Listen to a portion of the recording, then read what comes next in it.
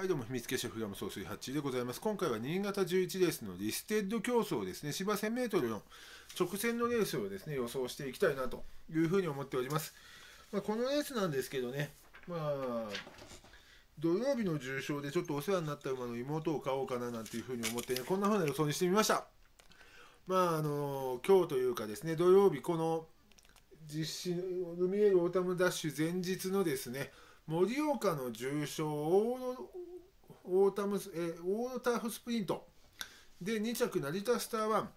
これがねあの単勝43倍の穴馬でこれが入ってくれたおかげでね3連複結構ついたんですね。まあそれこそこのレース普段買う金額分ぐらいついてくれたんでまあじゃあその全妹に当たるボーンスキルフルを軸にしてもいいんじゃないかなと、まあ、ちょっとね迷ったんです。まあ、この一番下の活発ハッチあたりと迷ったんですがこちらから行きたいと思います。まあ正直ねそういうふうに言いつつもまあ上がり馬ですよ上り馬まあ、直線 1000m で直近2勝でオープン入りという馬なんですけれども、まあ、指数的にもねあの最近のこの、えー、と直近の何戦かということで言えば一番時計の、ね、評価が高い馬でもあります。まあそれゆえに一番人気になっちゃってどうかなと思いつつも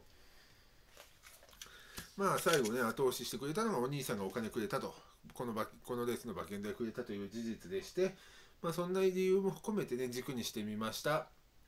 で6番人気6番のビリーバー。昇級戦のアイビスサマーダッシュで3着。前走ねあの着順的にはそこそこながらねあの普通の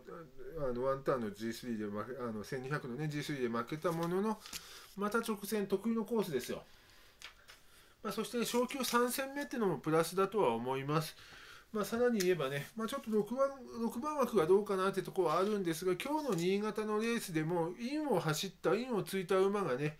あの圧勝したという感じでね、案外内枠悪くないっていうかね、全体的にボロボロになってきて、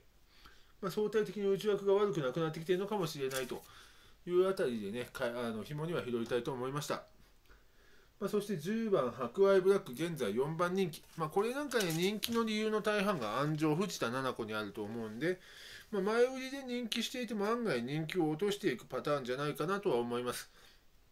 まあ、確かにね、藤田七子騎手っていうのは、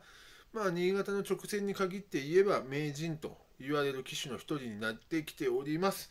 まあ、その点でねあのこうやって前売りで人気するっていうのはあるんですが、まあ、徐々に人気は落とすでしょう。まあ、っていうのもねあの実績ダートしかない馬ですしただ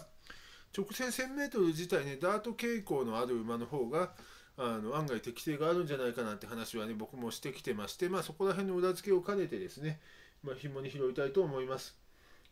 まあ、そして10番人気、ミキのドラマ、昨年の3着馬、そして今年のアイビス様ダッシュも6着と実績あります。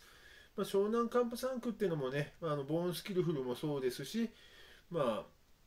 新潟の直線 1000m、ラブカンプなんかもね、アビスサマーダッシュ、去年か、一昨年か、結果出しましたもんね。まあ、一昨年だったっけ。そんな感じでね、あの湘南カンプ3区の直線適正というあたりでも嗅いでいきたいと思います。まあ、そして17番、活発ハッチ。まあ、かつての実績で言えば一番手、ただ今年ちょっとね、いまいち戦績を落としているんで、軸にしようかな、人気してるしなと思ったんですが、まあ、最後の一押しで、まあ、紐の1点目というかね、まあ、そんな扱いにしてしまったというところです。まあ、そんなわけでね、こうあのオープン特別重賞、えー、と2歳戦だったり、まあ、あとはね、地方重賞なんかもやっております。まあ、いろいろやっていきますので、ぜひチャンネル登録よろしくお願いいたします。以上、ハッチーでした。